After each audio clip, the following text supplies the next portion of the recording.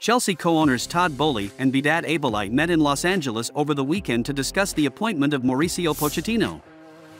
Boehly and Eghbali spent the weekend in the United States amid ongoing talks with Pochettino, who is expected to take over at Stamford Bridge in the summer. Clearlake Capital co-founder Eghbali was spotted at an LA Lakers NBA match and he was asked who the next Chelsea will be. After being asked whether it will Pochettino, Eghbali winked and said, maybe, maybe.